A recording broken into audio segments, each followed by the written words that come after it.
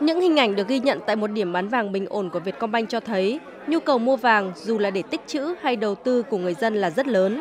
Tất nhiên, cũng có những trường hợp tham gia vào dòng người để trải nghiệm.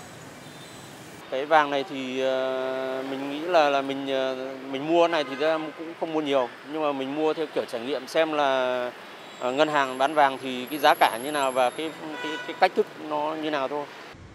Ngân hàng nhà nước khẳng định không thiếu vàng để bán, người dân không cần lo ngại, nhưng đã xuất hiện tình trạng thuê người xếp hàng gom mua vàng để đẩy giá kiếm lời. Theo nhiều chuyên gia, trong trường hợp này cần tính đến việc đánh thuế, tương tự như đánh thuế với đầu tư chứng khoán hay bất động sản để ngăn tình trạng đầu cơ.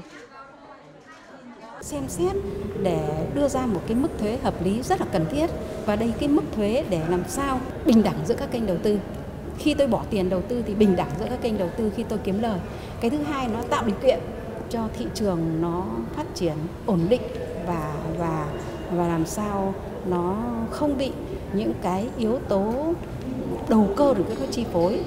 Chúng ta nên có hai cái hình thức giao dịch vàng. Hình thức nhất ấy, là những người dân có tiền cần mua vàng để tích trữ thì ngân hàng nhà nước bán vàng và nên lưu ký cái vàng đó tại ngân hàng nhà nước. Và ngân hàng nhà nước sẽ quản lý cái vàng đấy cho người dân không phải lo cất trữ ở nhà và cái giá đó là cái giá đúng nghĩa là vàng để tích trữ còn những người nào lại muốn nhận cái vàng vật chất về để mua đi bán lại thậm chí là có thể có những người đầu cơ thì chúng ta lại phải có một chính sách thuế đối với lại những người giao dịch mà những cái vàng vật chất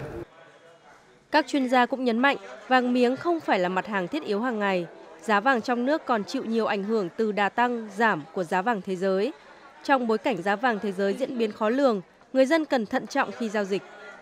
Vàng là một tài sản vô cùng rủi ro. Chúng ta chứng kiến một đêm đã rơi xuống đến 100 đô mà chúng ta cũng không thể biết điều gì xảy ra đối với một cái loại là hàng hóa mà chịu ảnh hưởng biết bao nhiêu là cái nhân tố như thế. Tôi có một lời khuyên là chúng ta phải rất thận trọng. Nếu mua nhiều quá mà giá mà rơi xuống nhiều thì chắc có lẽ sẽ gánh lại những cái cái cái khoản lộ mà cũng là chính là những cái công sức chúng ta tạo ra. Về cơ bản, các chuyên gia đều cho rằng nếu dùng các biện pháp hành chính, chưa chắc đã có hiệu quả bằng việc đánh thuế. Đánh thuế vừa phải sẽ giúp những người kinh doanh trong nước cũng có lời, còn các đối tượng buôn lậu sẽ không có lợi, từ đó ngăn chặn được hành vi đầu cơ thao túng.